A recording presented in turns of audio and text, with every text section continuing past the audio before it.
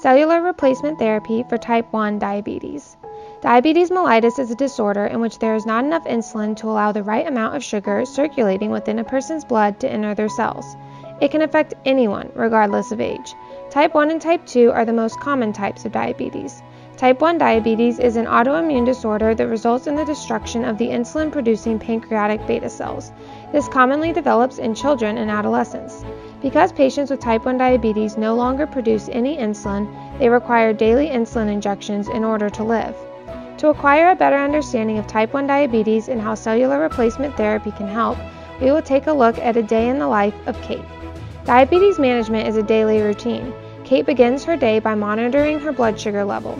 She does this by pricking the tip of her finger and placing a drop of blood onto a test strip that she places in her blood sugar meter. Her blood sugar level is displayed on the screen. If Kate's blood sugar is too high, she must inject herself with some insulin delivered through an insulin pump inserted through the skin on her abdomen. If her blood sugar is too low, she must eat something containing sugar to raise it to normal levels.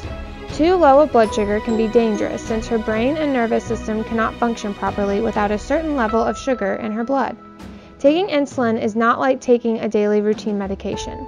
Because the amount of food she eats and her level of physical activity can affect her blood sugar levels, she has to check it throughout the day and adjust the amount of insulin she takes. Blood sugar is a constantly moving target, which can make diabetes difficult to manage. Poorly or inaccurately managed blood sugar levels can lead to complications. To help Kate manage her daily insulin needs, she could receive transplanted functional beta cells that would sense her blood sugar levels and secrete the appropriate amount of insulin on their own.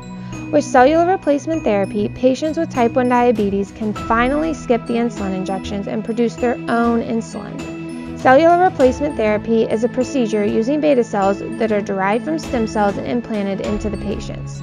These beta cells are typically injected underneath the skin or into muscles, since these are highly vascularized areas, to quickly transport and use the insulin produced by these cells. The transplanted beta cells allow patients to treat and maintain proper insulin levels for a longer duration, eliminating the need for cumbersome, expensive daily insulin injections for patients without other options. Cellular replacement therapy offers patients like Kate a healthier life and a bright, hopeful future.